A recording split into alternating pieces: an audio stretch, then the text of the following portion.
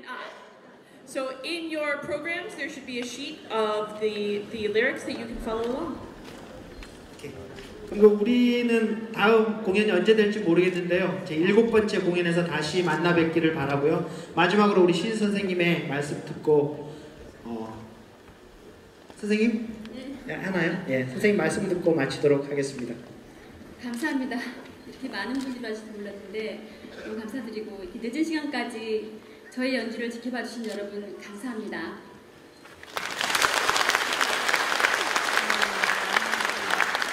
국악이란 장르가 대중적이지 못한 점 이렇게 알고 있지만 오늘처럼 여러분들이 자이든 타이든 관심을 갖고 오셔서 연주에 열- 어, 응원해 주셔서 너무 감사하고요. 그리고 앞으로 더욱 전통을 지켜야 되겠다고 생각하고 더 다짐해 봅니다. 연주회 준비를 위해서 수고해준 우리 죽향 문화생 여러분 감사드리고 그리고 송시를 지어주신 석천 김태국 선생님 감사드립니다.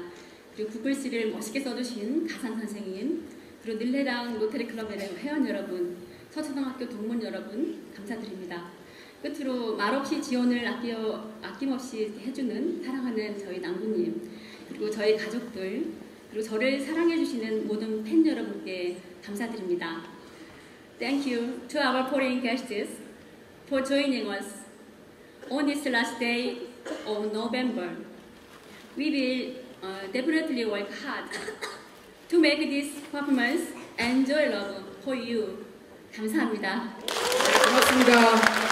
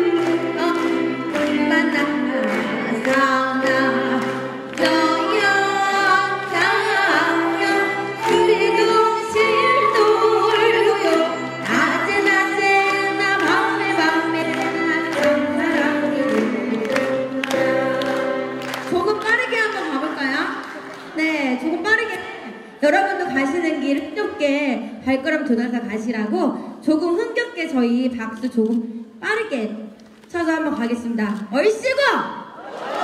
네. 반주, 네. 응!